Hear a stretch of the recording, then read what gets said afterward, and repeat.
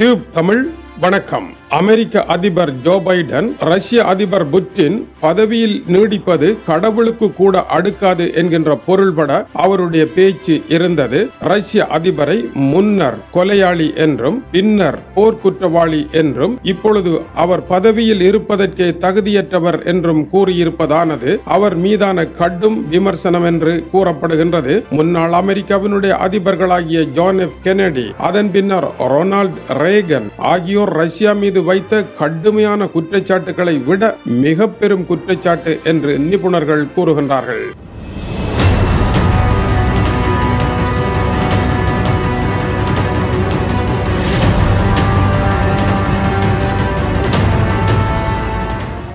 நேற்று சனிக்கிழமை அமெரிக்க அதிபர் ஜோ பைடன் போலந்து அதிபர் ஆண்ட்ரச் டூடாவுடன் பேசிய பொழுது மிகவும் உற்சாகமாக காணப்பட்டார். ஐரோப்பிய ஒன்றியம் நேட்டோ ஜி ஏழு மாநாட்டில் அவர் அடைந்த வெற்றியும் அமெரிக்காவினுடைய வர்த்தகத்தில் ஏற்பட்டிருக்கும் வெற்றியும் அவருக்கு குஷியை ஏற்படுத்தி இருந்தது இதைத் தொடர்ந்து போலந்து சென்று அங்கு அகதிகளை பார்த்து போலந்து அதிபருடன் பேசியதன் பின்னதாக தாம் எடுத்த உறுதியான நடவடிக்கையின் பின்னதாக ரஷ்யாவில் என்ன நடைபெற்றிருக்கின்றது பாருங்கள் என்று முதலாவது கூறியிருக்கின்றார். இருபத்தி நான்கு மணி நேரங்களில் ரஷ்யா தன்னுடைய போர் கொள்கையை மாற்றி வெறும் குறுகிய இரண்டு மாநிலங்களை கைப்பற்றுகின்ற அளவிற்கு பின்வாங்கிவிட்டதே இதற்கான காரணம் என்ன? தாம் எடுத்த உறுதியான நடவடிக்கை என்று கூறியிருக்கின்றார் அவரிடம். இப்பொழுது ரஷ்ய அதிபர் தன்னுடைய படைகளை நெருக்கி சிறு குழுவாக மாற்றி போருக்கு செல்வதானது தாம் கொடுத்த அழுத்தம் என்று கூறியிருக்கின்றார். மேலும்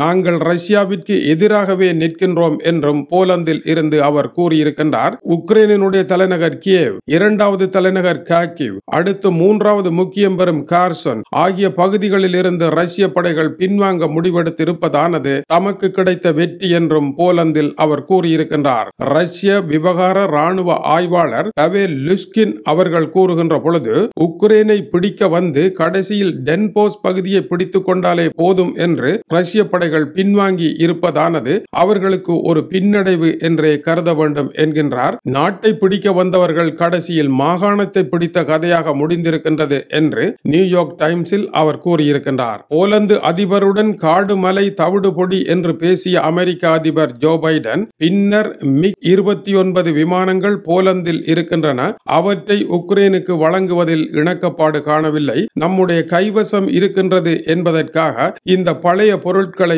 உக்ரைனிடம் தட்டிவிடுதல் கூடாது.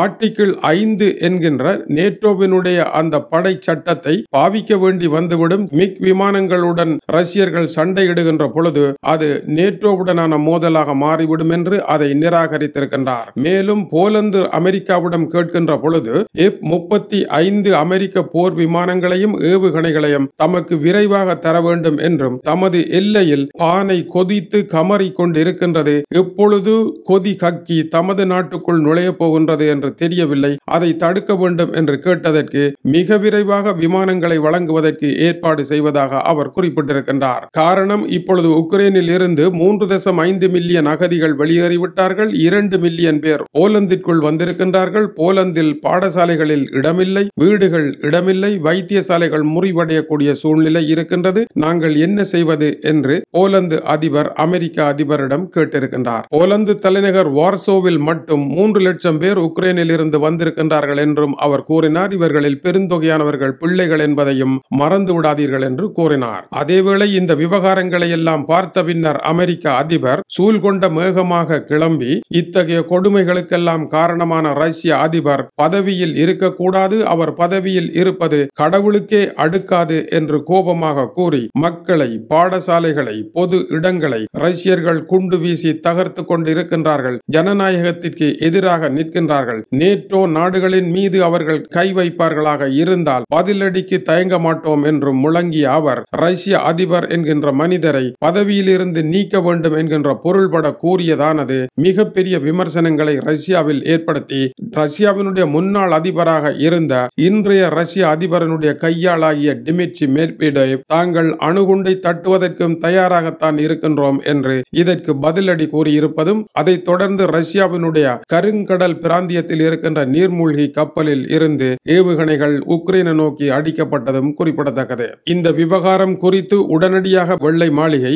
அமெரிக்க அதிபரனுடைய கருத்து ரஷ்ய அதிபரை பதவியிலிருந்து உடனடியாக கவிழ்க்க வேண்டும் என்பது அல்ல அவ்வாறு பொருள் கொள்ள வேண்டாம் என்றும் அவருடைய கருத்து வெளிநாட்டில் இருந்து அகற்ற வேண்டும் என்றே அதற்கு பொருள் கொள்ள வேண்டும் என்று கூறியிருக்கின்றார். ரஷ்யாவினுடைய தரப்பில் இது பற்றி கூறுகின்ற பொழுது இவ்வாறான பேச்சுக்கள் எதிர்காலத்தில் ரஷ்யாவும் அமெரிக்காவும் உறவு கொள்ள முடியாத இடைவெளியை ஏற்படுத்தும் என்றும் அவர் குறிப்பிட்டிருக்கின்றார். மேலும் உக்ரைனில் சிவிலியன்களை தாங்கள் தாக்கவில்லை என்றும் ரஷ்யா குறிப்பிட்டிருக்கின்றது. அமெரிக்க அதிபரனுடைய இந்த பேச்சு முன்னர் ஜோனப் கெனடி அதைத் தொடர்ந்து ரொனால்ட் ரேகன் போன்றவர்கள் ரஷ்யாவிற்கு எதிராக பேசியதாக கூறப்படுகின்ற மோசமான பேச்சுக்களை விட மிக மோசமாக இருந்ததாக டென்மார்க்கினுடைய போர்க்கால இது போன்ற பேச்சுக்களை அவதானிக்கின்ற கிறிஸ்டியான் எரிக் காக் தெரிவிக்கின்றார். எழுபத்தி ஒன்பது வயதுடைய ஜோ பைடன் எங்கே உற்சாகம் அடைந்து தன்னை மறந்து இவ்வாறு பேசினாரா? இல்லை அவருடைய உள்ளத்தில் மறைந்து கிடந்த உள்ள கிடக்கை தான் இவ்வாறு வெளிவந்ததா என்பது கேள்வியாக இருக்கின்றது. இருந்தாலும் கூட ஜோ பைடன் தடுமாற்றம் காரணமாக இதை பேசவில்லை. அவருடைய உள்ளம்தான் பேசியிருக்கின்றது என்றே கூறுகின்றார். இந்த மனிதன் பதவியில் இருக்கக்கூடாது என்பது அமெரிக்காவின் நிகழ்ச்சி திட்டமா என்கின்ற கேள்வியையும் பலர் எழுப்பியிருக்கின்றார்கள் இருப்பினும் பொறுப்புள்ள பதவியில் இருப்பவர்கள் பேச வேண்டிய வார்த்தைகளினுடைய அளவை ஜோ பைடன் கடந்து விட்டாரா என்றால் அவர் கடக்கவில்லை என்பது உண்மையாக இருந்திருந்தால் வெள்ளை மாளிகை அவருடைய பேச்சுக்கு புதியதொரு வியாக்கியானம் கொடுத்திருக்க வேண்டிய தேவை இல்லை. எனவேதான் பதவியில் இருப்பவர்கள் நுணலும் தன்வாயால் கெடும் என்பது போல இந்த சிக்கலுக்குள் செல்லுதல் கூடாது அது போர்க்களத்தை கடினமாக்கிவிடும் என்கின்ற கருத்து ராஜதந்திர வட்டாரங்களில் கிளம்பியிருக்கின்றது. இவ்வாறு அமெரிக்க அதிபரனுடைய விஜயம் வெற்றிகரமாக சென்றாலும் கூட வெண்ணை திரளும் பொழுது தாலியை உடைத்தவன் போல கடைசி நேர உரை இருந்துவிட்டதா இல்லையா என்பதை வரும் மணி நேரங்கள் மதிப்பீடு செய்யும். இது டியூப் தமிழ் காணொலிக்காக டென்மார்க்கில் இருந்து கீசே துறை வணக்கம் உறவுகளை.